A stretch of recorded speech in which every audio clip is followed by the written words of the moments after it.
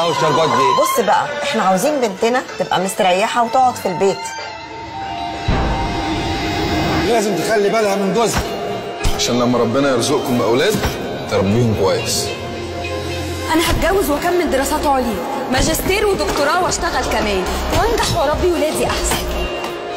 وأنا معاك. ما تخليش التاه المربوطة تربطك. اكسري الحواجز اللي حواليكي وخليكي متعلمة ناجحة طموحة. لأن التاه المربوطة سر قوتك.